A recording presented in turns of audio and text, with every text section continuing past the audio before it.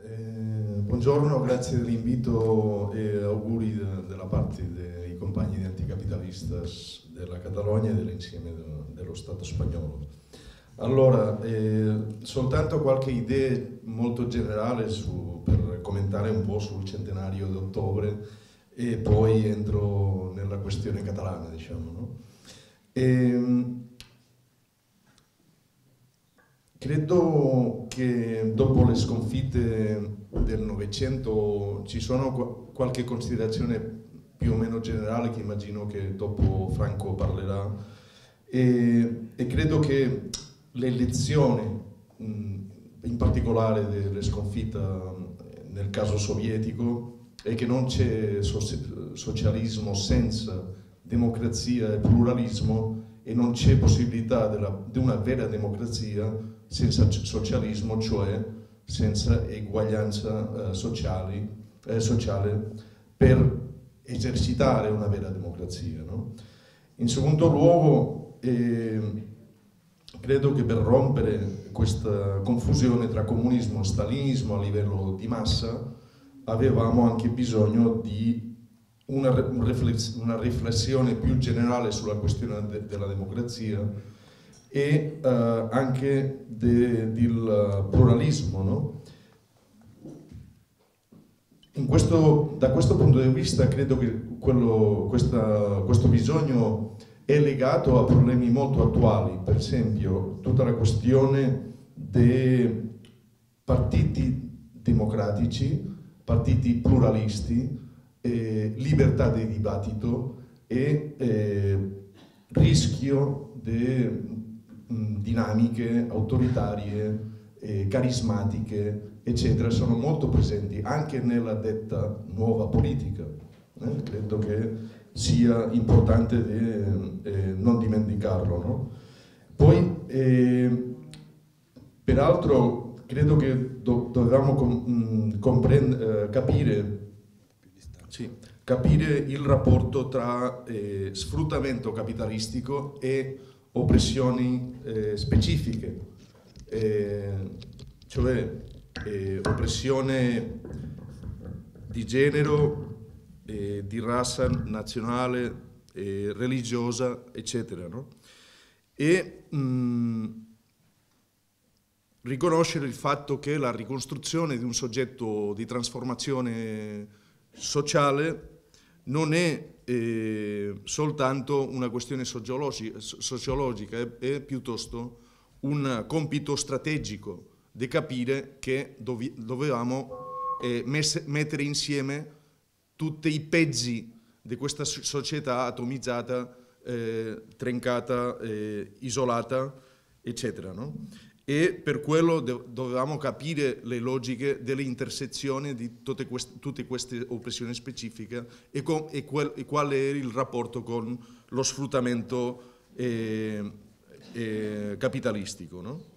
Allora, l'esempio catalano è, credo, una, un caso di oppressione nazionale eh, e mh, mm, ecco, voglio parlare un po' eh, di questo caso concreto. No?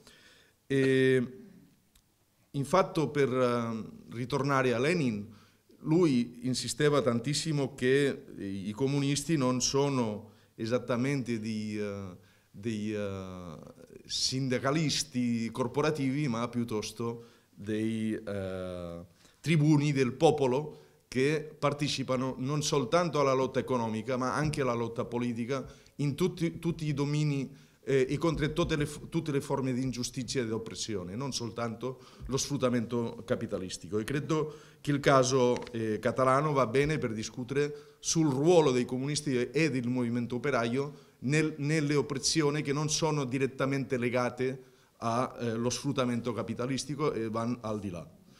Allora, eh, vera, ovviamente Puigdemont non è Lenin, eh, purtroppo, Bruxelles non è Finlandia, eh, ma credo che il casino che, c'è nella Catalogna e nell'insieme delle Spagna non è peraltro una, una, una, una battaglia simbolica, c'è un vero conflitto politico molto importante e forse sia eh, la crisi politica la più importante da, dalla fine de, della transizione politica post-franchista. No?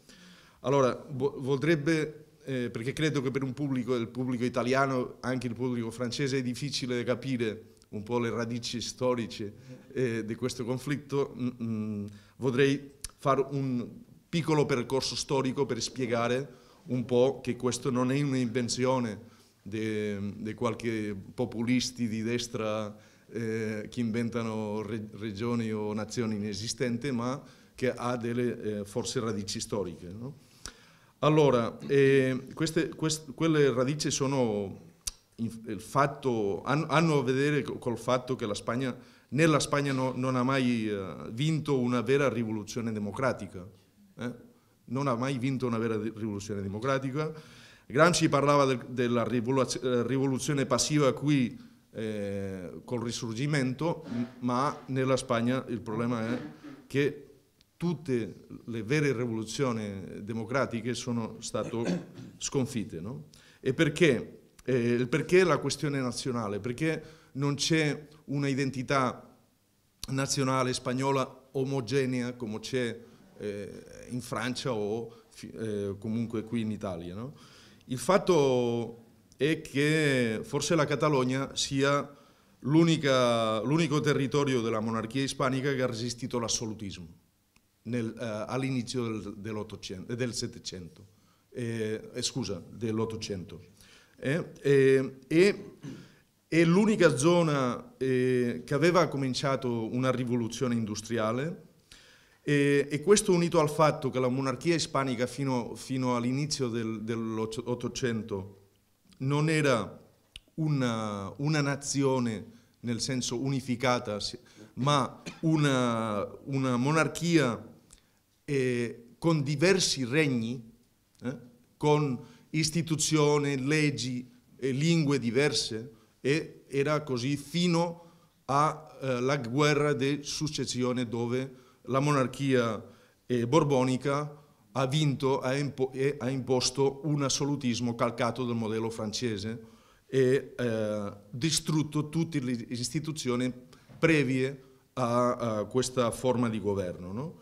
Allora, alla differenza della Francia, i, i, i liberali spagnoli non, uh, non, sono stati sostenuti da una rivoluzione contadina. Questo è molto importante credo che sia un caso eh, molto simile qui in Italia. No?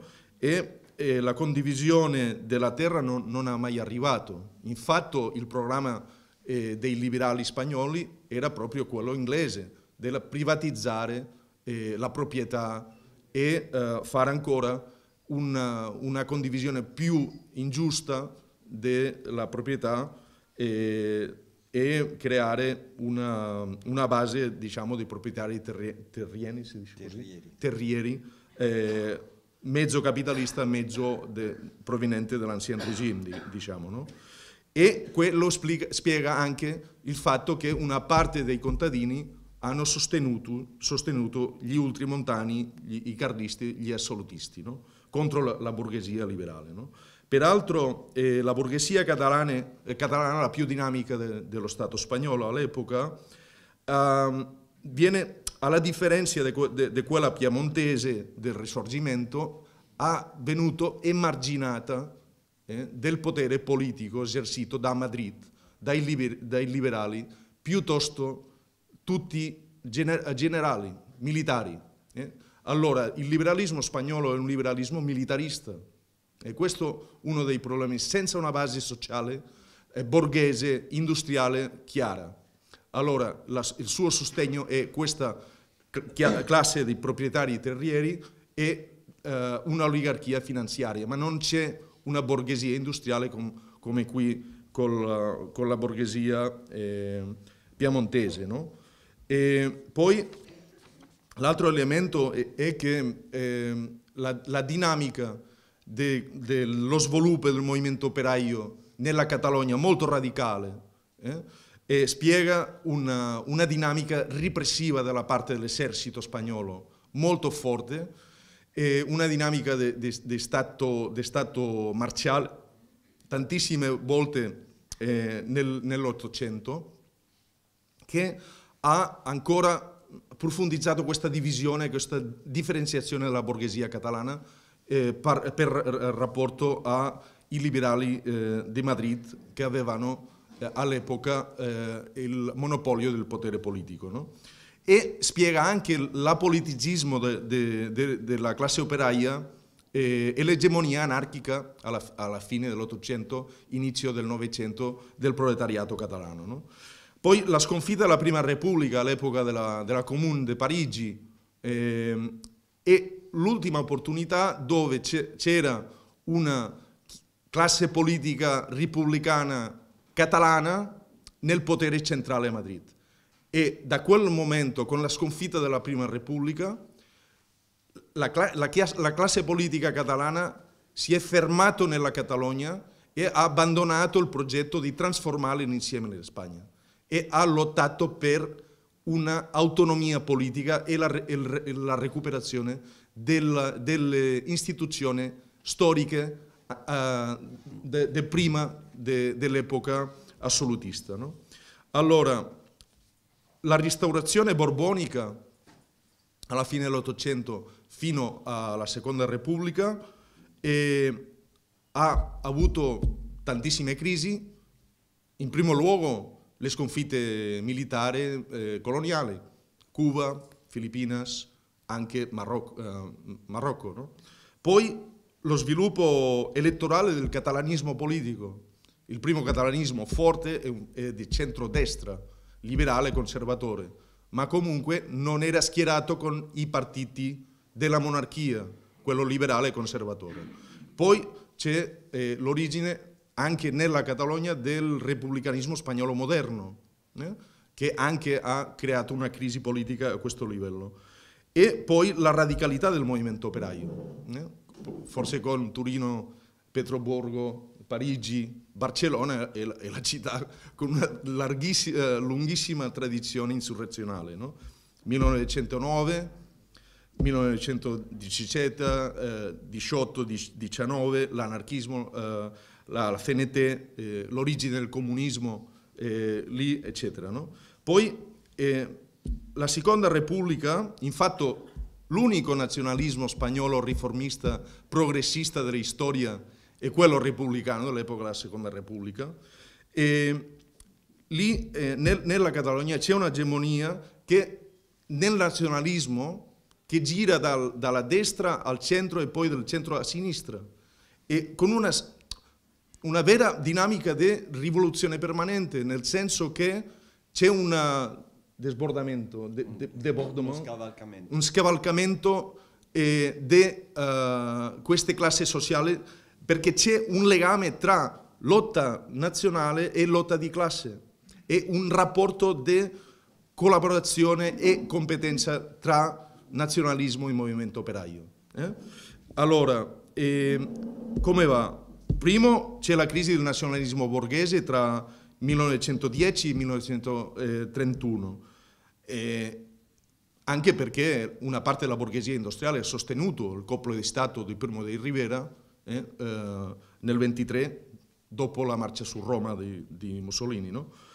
Poi c'è l'ascesa della piccola borghesia nazionalista Scherra Repubblicana di Catalogna, che è il partito egemonico nella Catalogna della Seconda Repubblica. Perché? Perché c'è la sintesi tra catalanismo politico di sinistra e repubblicanismo e questa sintesi è, eh, spiega questo esito de, del centro-sinistra piccolo borghese eh, eh, nazionalista. No? E poi c'è l'ascesa del, del, proletariato rivoluzionario, la CNT, POUM, eccetera.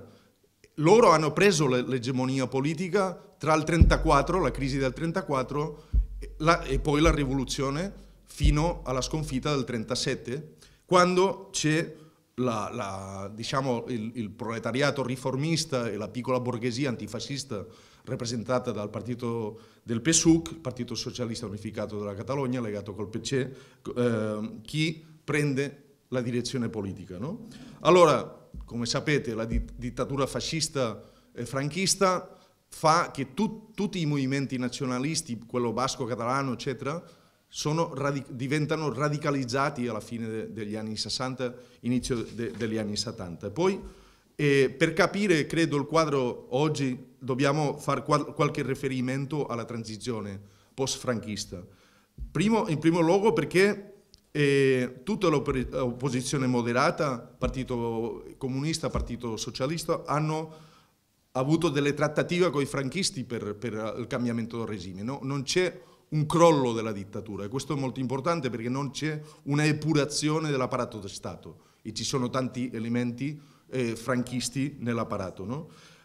L'amnistia politica era proprio, era, era, era proprio per, i, per, i, franchisti, eh? era appunto per loro. Poi c'è la questione del sostegno alla monarchia eh? e si rinuncia al referendum sulla forma di Stato, eh, sulla Repubblica.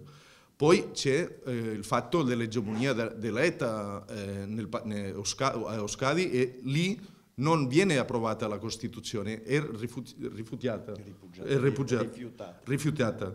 E poi il diritto d'autodecisione è, è il primo elemento di tutti i programmi delle sinistre che diventa dimenticato, perché è la condizione de, dell'armata per eh, negoziare la transizione dell'esercito. Eh.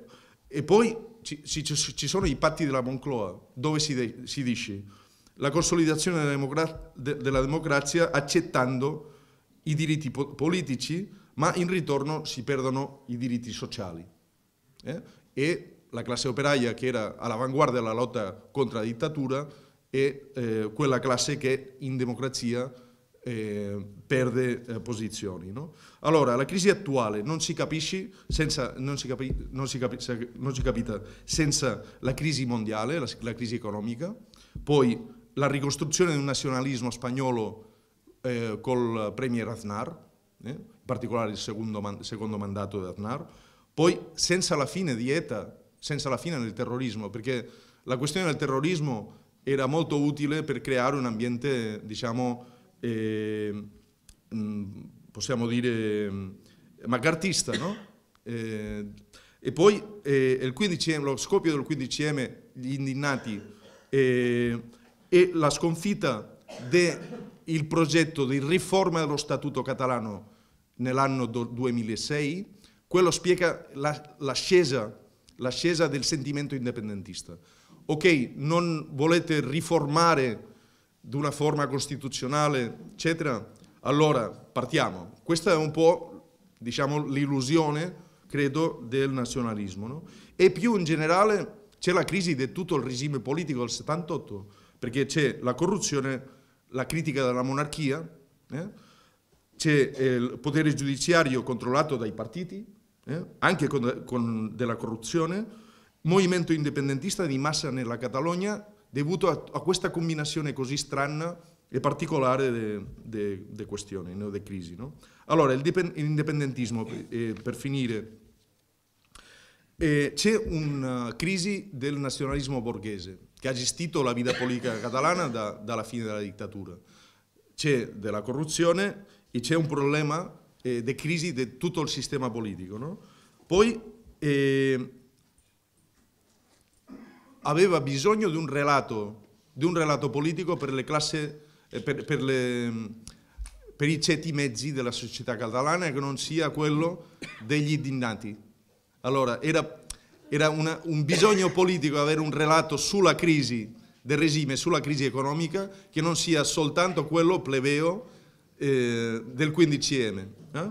Poi eh, c'è la petizione di un referendum Mm, con trattativa con lo Stato, che viene rifiutato eh, ogni, ogni, volta. No?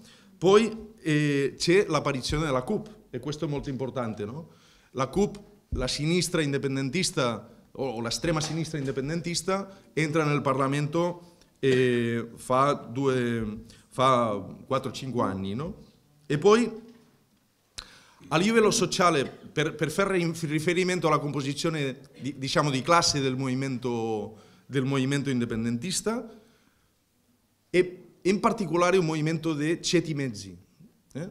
Eh, L'alta borghesia è contro, perché è monarchica, molto, conserva, molto conservatrice, e il movimento operaio, le casse operaie sono divise.